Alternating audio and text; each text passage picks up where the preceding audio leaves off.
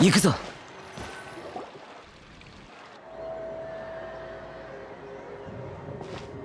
おはようさん。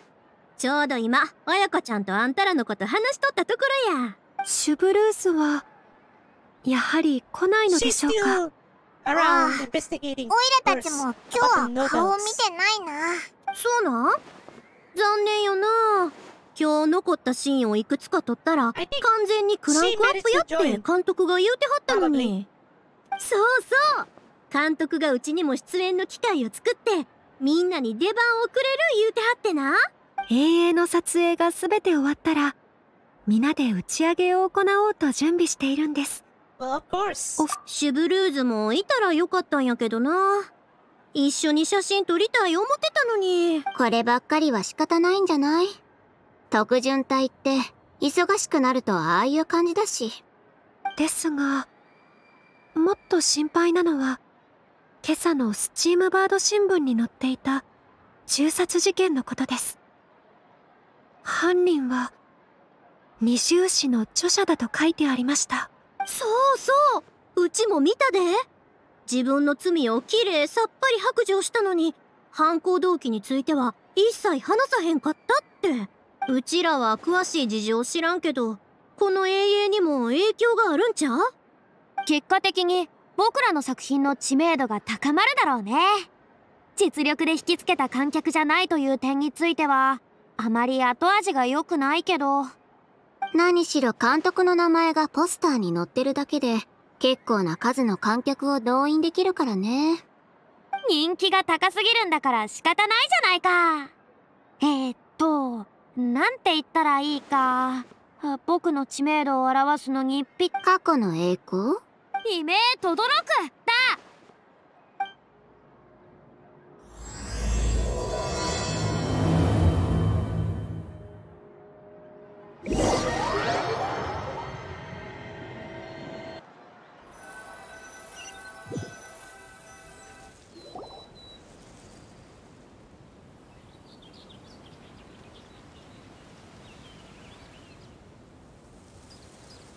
失礼。今いいか？おクザビエ。なんだか久しぶりだな。ああ最近は英英協会の人と今後の宣伝のことで話し合いが忙しくてこっちに構ってる暇がなくてな。皆さんが心血を注いだこの作品必ずや最高のステージでお披露目するつもりだぞ。そう最高の。お？おもう一つの戦場って？やつだな。そう言えるかもな。おっとそうだ。今日の AA 撮影前に紹介したい人がいるんだ。こちらは俺が前に言った出資者の方でモリスさんだ。あどうも。ごきげんようモリスさん。以前財政状況で苦しんでいらっしゃるとお聞きしました今は好転なさっているといいのですが。あああ少しは良くなったよ。大丈夫やモリスさん。そんなん誰にも予測できひんねんから悲しむ必要はあらへん。それにええ知らせがあってな。撮影がもうじきクランクアップなんや。うちは今まで読んできた物語の中でいっちゃいい話やと思ったで。そそれは何よりだなよし。みんな挨拶も済んだようだしそろそろ始めようか。今日のメインは街の風景や人々の様子を映すシーンだ。これらは映画の中で特定の環境を描写するのに使わせてもらう。その後は綾人と宵宮のゲスト出演でよそ者がフォンテーヌの重視に抱く評価を表現する。わかりました。お兄様も後ほどこちらに合流するとのことです。よし。じゃあまずは風景のシーンから撮ろうか。カメラマンスクリプター準備して。おう任せとけ。街並みを円形で撮るってことを忘れないでよ。もしいい感じの花や草があったらアップで撮ってくれていい。いくよ。321キューそうゆっくりとレンズを動かすんだあそこの花にピントを合わせてみて。どうしたんだい？あの花にピントを合わせればいいんだよ。カメラマン？I think that camera should be broken. え？ー、そんな？この前は問題なかっただろ？ベロニカすぐに写真機を交換してくれ。はい。こちらを使ってください。じゃあリテイクだ。321 9 Another noise in the camera. どうしてこっちまで壊れるんだ？ベロニカ他に予備はあるかい？えっと今日あるのはこの2台だけです。なんだって？だったら急いで工房を探して修理してもらおう。ボーノ君は倉庫に行って余っている予備の写真機を持ってきてくれ。申し訳ありません。遅くなりました。おや？綾香。今日の撮影は問題続きであまり順調ではないん.です。なるほど。よし。僕たちもただ待っているわけにはいかない。出演者はメイクを写真機が直ったらすぐに撮影を再開しよう。工房の人が言うにはレンズを固定する部品が外れていたそうです。おかしいですねそんなことはどうでもいいさ。早く続きと行こう。それじゃあみんな口を閉じて。出演者は位置についてくれ。321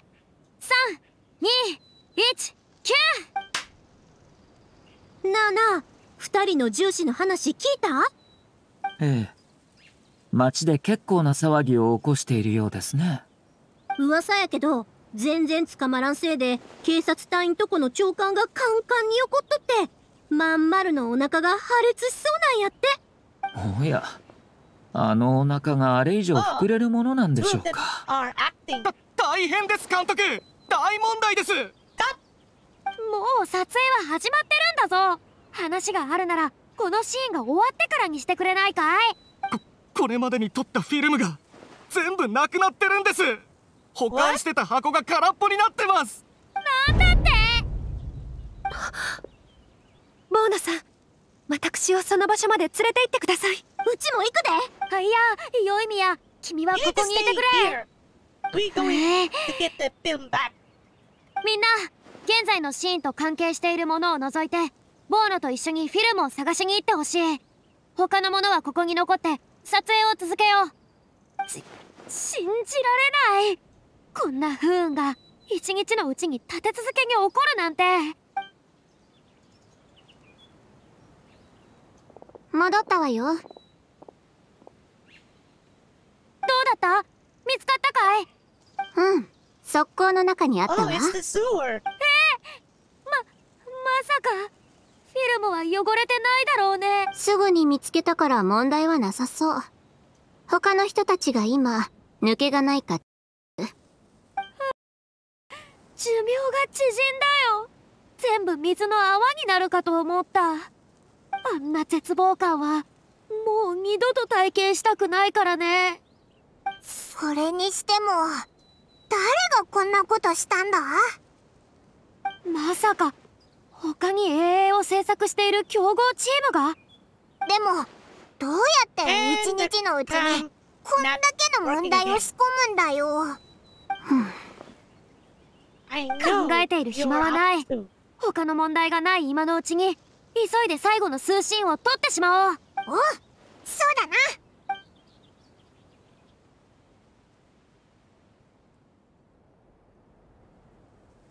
みんな衛泳二重視これにてクランクアップだ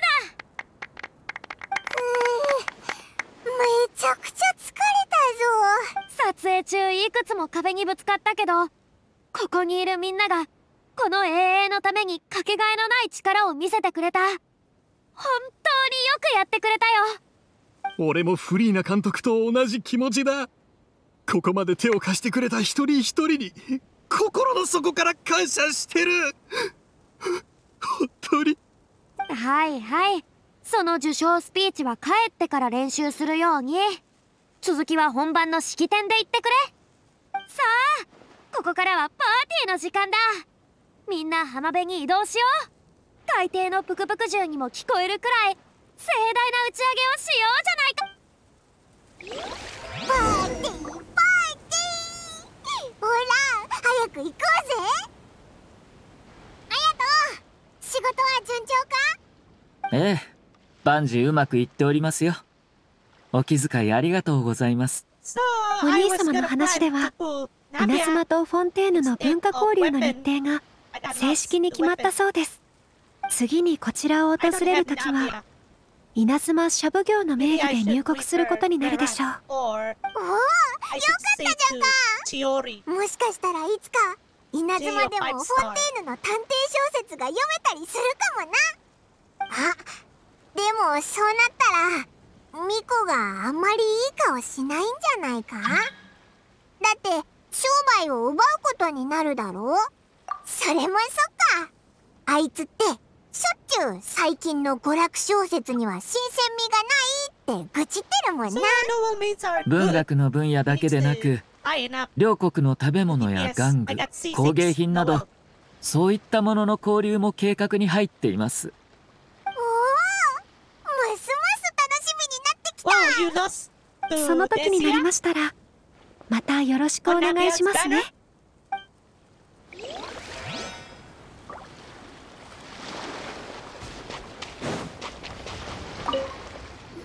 So I was gonna plan to skip Nabia or save it up to Chiori. 我らがチームの有能なカメラマンとスクリプターじゃないか。撮影ご苦労だったね。フリーナの方が大変だっただろ？それに実はあのカチンってやるのだんだん飽きてきたんだよな。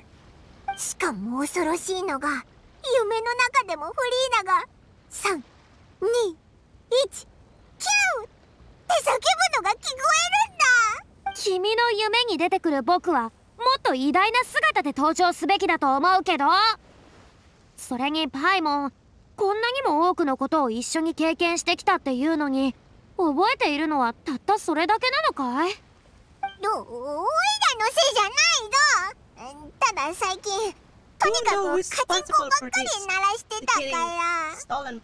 まあ何にせよ。永遠の撮影は無事に終わった。僕 Oh はねあの永遠で最優秀賞を取れる自信があるんだ。とトロフィーの名前は言わないでくれ。そっか。もしオイラたちが受賞したらフリーナが表彰台に上がって自分の彫像を抱くことになるんだなそんな場面で出しゃばるつもりはないさ。グザビエに上がらせればいい。フリーナがフリーナのトロフィーを抱いてフリーナ賞を受賞する。ふう好きに言うといいさ。僕は引き続きスイーツを楽しませてもらうから。So I noticed the video of Xian Yun is the animal catalyst. So I was gonna plan to get catalyst animal Xian Yun. I'm skipping her. Straight to Chiori, the best goal. Five star jail.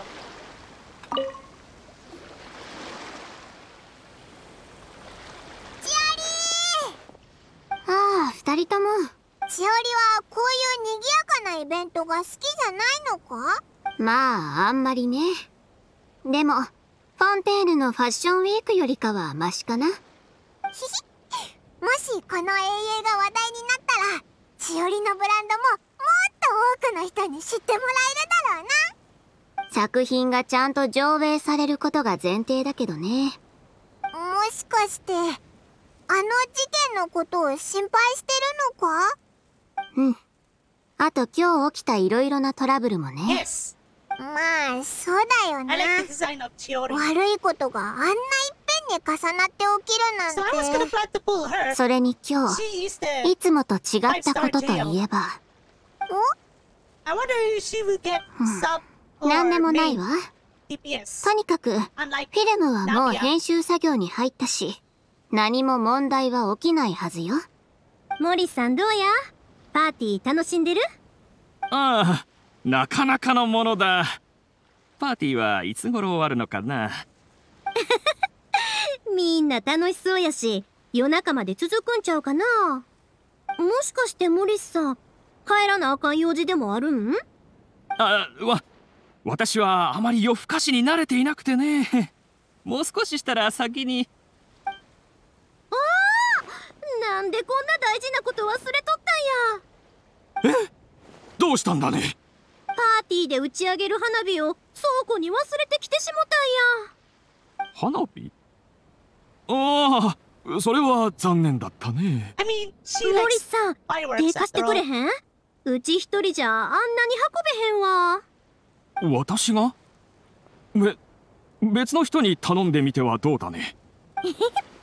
みんなおわっと驚かせたいね。倉庫はすぐ近くやしそんな時間はかからへんからお願いやモリスさん。うち花火を見てもろてから帰ってもらいたいね。うちの実習作やから。めっちゃ綺麗やし絶対一生忘れられへん思い出になるで。うん。ほなこっそり抜け出そう。誰にも気づかれんように。あああわかった。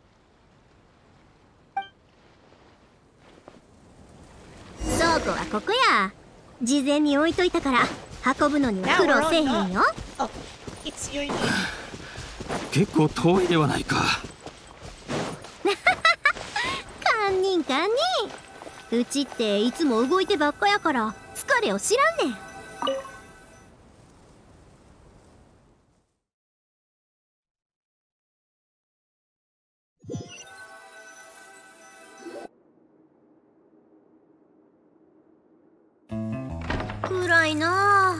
さんここで待っといて。確かこの辺に明かりをつけるボタンが。なぜ私がこのようなことを。な何の音だ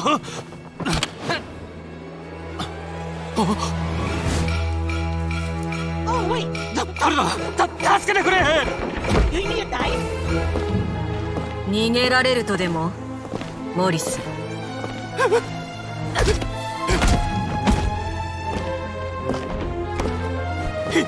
人違いだ。私じゃない。私が殺したのではない。知ってるか？エリサは死ぬ前貴様のようにうろたえなかった。床下の子供が見つからぬよう貴様の雇った殺し屋に最後まで抵抗した。これはエリサのペンダントだ。中には2人の写真がある。忘れてはいないよな。貴様が送ったものだ。あありえんこれは偽物だ。あれは。貴様の雇った殺し屋が処分したはずだと。本当に彼女を愛したことがなかったのか？なぜ彼女を殺そうと思った？ま、ま、待て。落ち着け。私はエリサに大金まで渡して秘密にするよう忠告したのだ。なのにまさかこう産むとは。事態はすぐ隠しようがなくなった私もああするしかなかったのだ。あ待てこの通りだ。何が欲しい？金ならいくらでも渡そう。その金を持って地獄で懺悔するといい。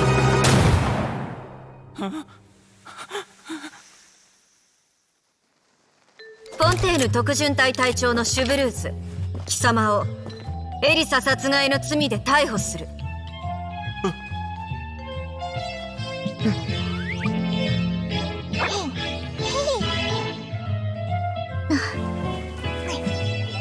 That was a reason to plan on the cutscene.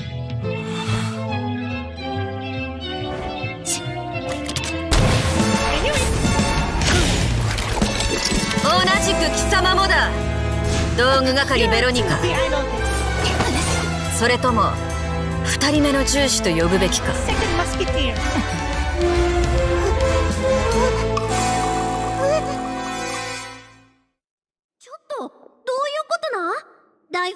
んなくだりなかったやんか。銃を下ろせベロニカ。どうして？どうしてこのゲスを殺す邪魔をするの？銃を下ろせと言った。三度目はないぞ。ここれは一体どういうことだ？まだわからないのかモリス。今起こったことは全て。Oh, 貴様をカメラの前.で自供させるための芝居だったのだもちろんこの招かれざる客を除いてな。おいシュブルーズ。らたちは芝居の手伝いを頼まれただけで二人目の従士がいるなんて聞いてないぞ。ここに来るまで私も自分の推理が合ってるのか定かではなかったからな。よい宮さんあなたの演技には感謝している。早速だが特巡隊隊員に知らせてくれないか。近くで待機を命じておいたそれから撮影チームの皆に冷静に行動するようにと。私たちはしばらく待ってからここを出よう。うんかまへんで。Oh.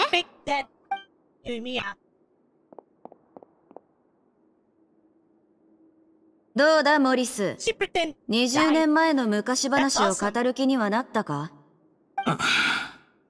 私の忍耐にも限界があるぞ。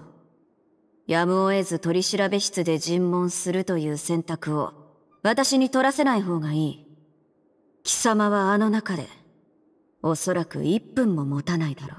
先ほどの記録があれば、法廷で貴様に勝ち目はない。今のうちに協力する姿勢を見せておいた方がいいぞ。わかった話そう人を雇ってエリサを殺したのは私だ彼女はもともと私の家のメイドでとても美しい人だった。月日が経つにつれ私は彼女に心を動かされ私たちは人目を避けて愛し合うようになった。だがやがて彼女は身ごもってしまったのだ。もしこのことが両親に知られてしまえば私の財産は全て剥奪され家から追放されるのは明白だった。だがまさかエリサが子を産むと言って譲らず私に家を捨てて共に遠くで暮らそうと言い出すとは思わなかった。貴様に愛されてると本気で思っていたのだろう.もう選択の余地はなかった。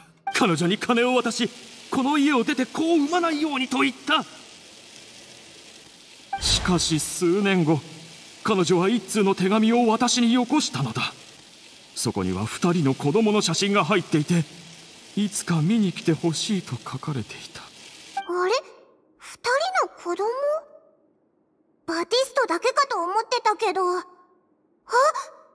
しかして。彼女が言うことを聞かずに子を産んだとはいえ貴様はそれを見て見ぬふりすればよかったはずだ?なぜ彼女を殺す必要があった？ああ。私は当時ちょうど別の富豪の令嬢と結婚することになっていてな。もしこの件が発覚すれば私の人生は終わっていた他に方法がなかったのだよ。違う。方法がなかったのではない。貴様は再び.選択を間違えたのだ。自分の母親が目の前で殺されるってどんな感じか知ってる？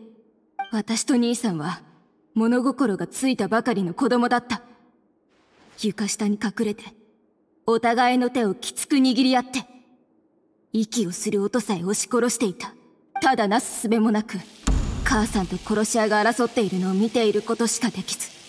そして殺されて殺し屋が去った後また戻ってくるのを恐れて私と兄さんはずっと動けずにいた。二日目の夜になってようやく床下から這い上がったの。母さんはもう冷たくなって硬直していた。それ以来貴様たちは事件の真相を公にしようと決意したわけか。それだけじゃなく復讐もね。それが貴様たち二人が重視になった理由なのだな.いやそれは私だけ。事件の被害者も私が殺した。兄さんとは無関係よ。無関係なのは知ってる Figured 彼は人を殺すような人間には見えないと私は思っていた。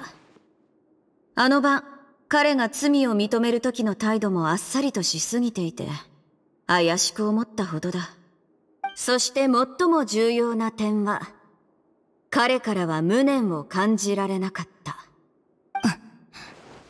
彼が自供する過程も私の知る限りどんな犯人よりも早かった。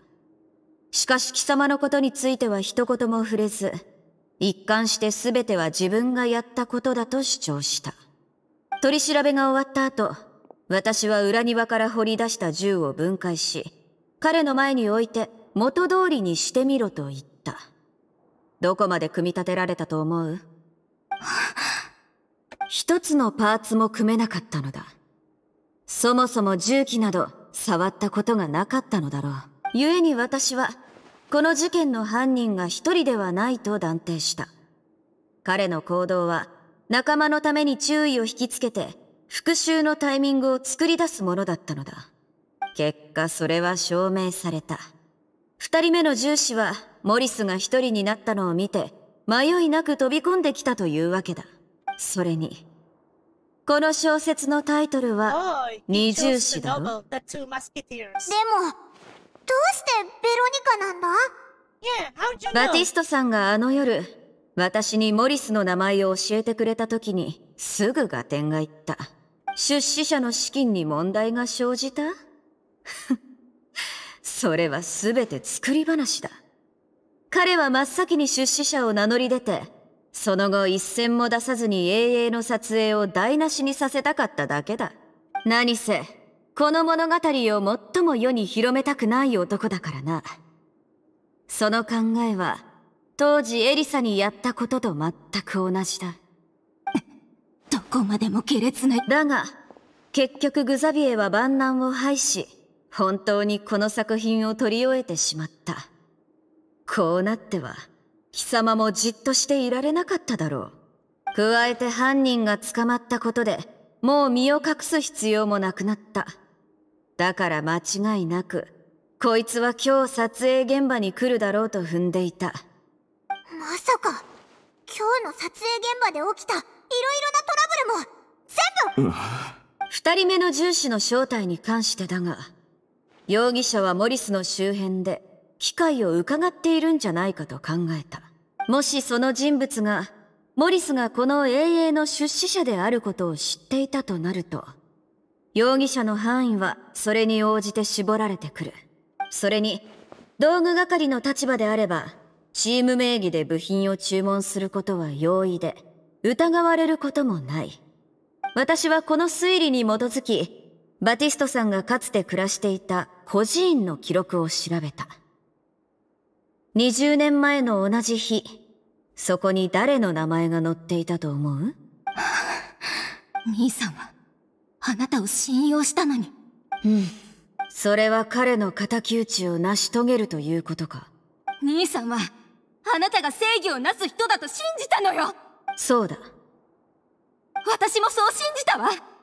あのシーンを演じた時のあなたの表情を見てさっきは本当に奴に向けて銃を撃ったのかと思った。あなただって奴が何をしたか全部聞いたでしょ。あんなことをした男だって言うのにまさか銃弾を食らわせるよりも残りの人生をメロピデ要塞で過ごさせて何不自由なく飲み食いさせた方がいいって言うの？私は今でも母さんの冷たくなった手のことが頭から離れないのに。これがあなたの言う公平あなたが掲げる正義。うん。本当のことを言おうベロニカ。あの夜貴様の兄と今回のことを話した後私は迷った。モリスの頭に風穴を開けるべきじゃないかと本当に考えたのだ。じゃあどうして？だがそれは決して現実にあるべき正義ではない。貴様からすれば正義とは歯には歯を命には命をというものかもしれない。しかし皆が正義に対して独自の理解を持ち皆がそれぞれの正義を追い求めることになればそこに規則は存在しなくなるだろう。今日貴様がモリスを殺したとして明日はその子供が貴様を殺しに来るだろう。現実は単なる復讐主義などでは裁けない。そうすれば復讐の連鎖に陥り規則が存在しなくなり社会も存在しなくなる。現実には現実の正義と法則がある。これこそフォンテーヌが正義の国と呼ばれる理由だ。それからこの男にはメロピデ要塞でのいい暮らしなど待っていないことを私が保証しよう。シュブルーズ特巡隊呼んできたで。ご苦労。二人を連行しろ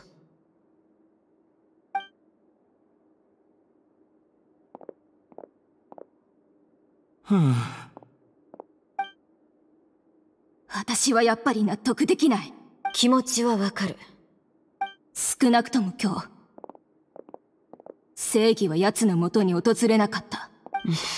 シュブルーズ行こう。撮影チームの皆に状況を説明しなくては。ありがとう。私は大丈夫だ。ただ何がこの者たちにこのような道を選ばせてしまったのかと思ってな。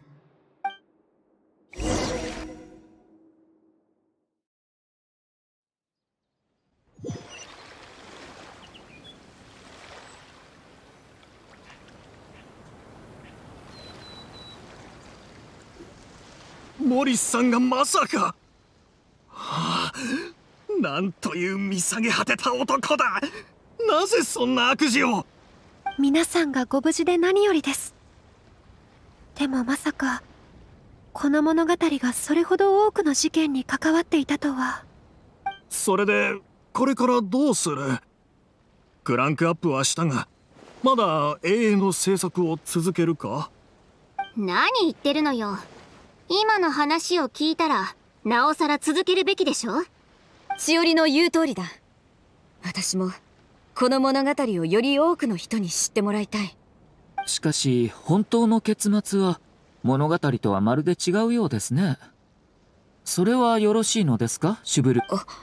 決心はついたかい？今ならまだ結末を取り直せる。判断は君に任せるよ。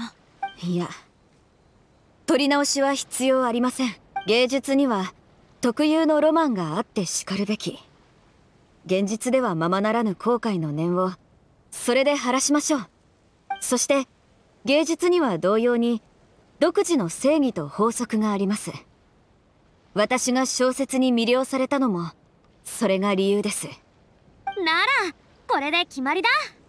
僕もその決断に賛成するよ。ベロニカはあの子は大丈夫な？彼女はその兄やモリスと共にじきに自分たちの所業に応じた審判を受けることになる3人はおそらくメロピデ要塞に移送されるはずだ。リオセスリさんには私から挨拶をしておく。それは私の思ってる挨拶。ああ。ほほん。ほらほら。一見落着したんだから。もうそんなに難しい顔をする理由もないだろ。みんな今日は目いっぱい食べて飲んで楽しんで。明日から撮影後の作業に移ろう。シュブルーズはさっきのパーティーにいなかっただろ今度は参加してくれるね。はい。参加します。では私はあちらでお待ちしております。シュブルースにお伝えしたい吉報がありますので。旅人パイモン。パーティーが終わったら浜辺で待っていてくれ。お前たちと少し歩きたい。ああ感謝する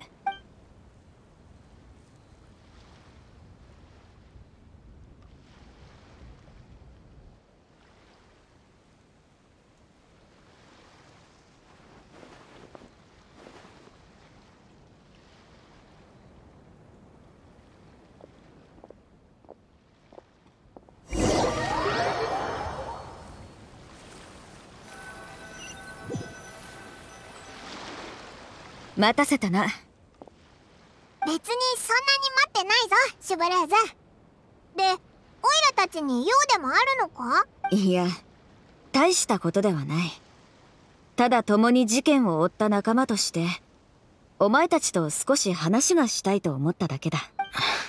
旅人お前が私の立場ならあの夜どうしていた？子供の頃父に連れられてよくここに泳ぎに来た。どれだけ寒くても父はいつも私を連れてきた。父はこう言っていた。水泳は精神鍛錬に一番いい運動だと。何しろ対岸にたどり着くまで絶対に泳ぐことを投げ出せないからな。特に冷たい海の中では。えなんでだよ。投げ出した時が死ぬ時だからだ。あの頃はまだ神の目も持っていなかったしな。あれはある冬のこと。寒風がナイフのように私の身を切り海水が冷ややかに骨を刺した。つま先が少し水に触れるだけで足の指は感覚を失った。私は泳ぎたくないと泣いて訴えたが父は耳を貸さなかった。父もかつて特巡隊員でおそらくそれがあの人なりの教育法だったのだろう。聞いてるだけで恐ろしいな。泣き止まない私を見て父はさっと私を抱き上げ冬の海に放り込んだ。刺すような寒さが骨に染みた。私は恐怖と怒り以外何も感じなかったよ。私は父が助けに来てくれるのを待とうと思った。だがふと見ると父はすでに対岸に向かって泳ぎ出していた。その時気づいた。投げ出したら自分はここで本当に死ぬのだと。全力で父の後を追った。その数分間はそれまでの人生よりも長く思えた。だが私は泳ぎ切った。対岸までな。それからは二度と何かを恐れたり泣いたりすることはなくなったんだ。そそのやり方はおいらには向いてないだろうな。私もそれが正しい教育法とは思わない。ただ今こうして正義を追い求めてると時々あの冬の海に戻ったような怒りや無力さを感じる。シュブルーズでもだからこそ投げ出してはいけないとより強く思うのだ。そうでなければ冷たい海で溺れてしまうからな。どうだ？私と勝負しないか？我々が溺れ死ぬことはない。スピード勝負でいいだろ？えっとお前たちだけで勝負しろよおいらはカチンコ鳴らしてスタートって先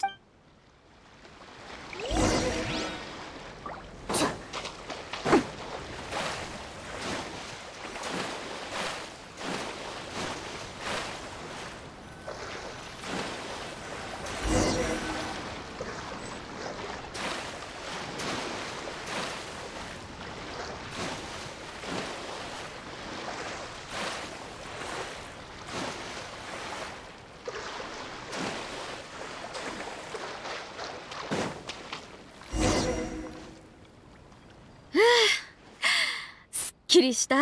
シュブルーズって泳ぐのがすっごく速いんだな。オイラが飛ぶより速かったぞ。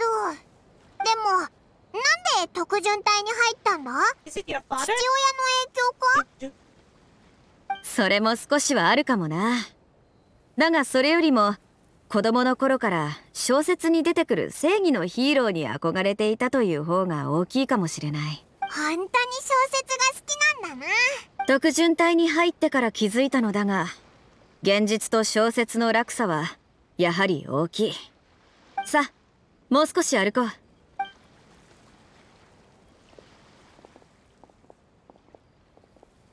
実際自分の行いが正しいのか迷うこともある。だがどうであれ泳ぎ続けねばならないのは分かっている。この目にはあの対岸しか見えていないのだから。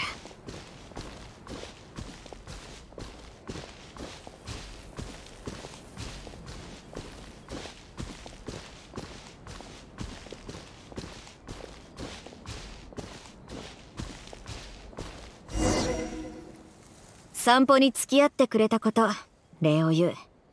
話をしたら気持ちがずいぶん楽になった.あれ？いつの間にかあの作家の家の近くまで来てたんだな。本当だ。こんなに近くにあったのか。本当に花をいっぱい育ててるんだな。小説に書いてあるのと同じだ。パイモン旅人見てくれ。庭のレインボーローズが咲いている